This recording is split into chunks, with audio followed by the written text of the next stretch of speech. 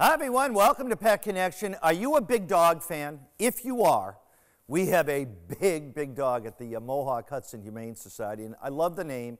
And the name tells you all you need to know about this dog. Fiesta loves to have a good time. Fiesta is six years young, a Spanish Mastiff. Fiesta was originally adopted out by the shelter six years ago, and when she came back, she was a whopping 160 pounds. Now, Mastiffs are big, but not that big. She's been on a weight loss plan for the last four months, and she's lost an impressive amount of weight, and she's healthy. She's so much better. She's now about 120 pounds, so that's amazing.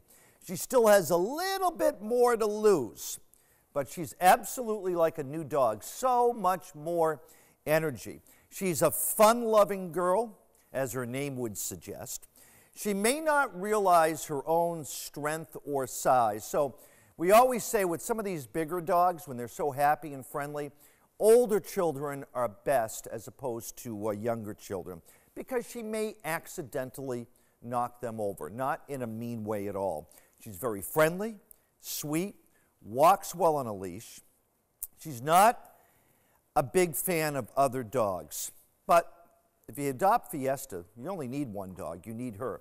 And by the way, uh, I was talking to the Mohawk Hudson Humane Society. They said she absolutely loves baths. Look at some of these pictures. She loves them. If you're interested in adopting Fiesta, contact the Mohawk Hudson Humane Society. Go to their website, fill out an application. Any questions, call them 518 434 8128. 518 434 8128. And that's Pet Connection for today.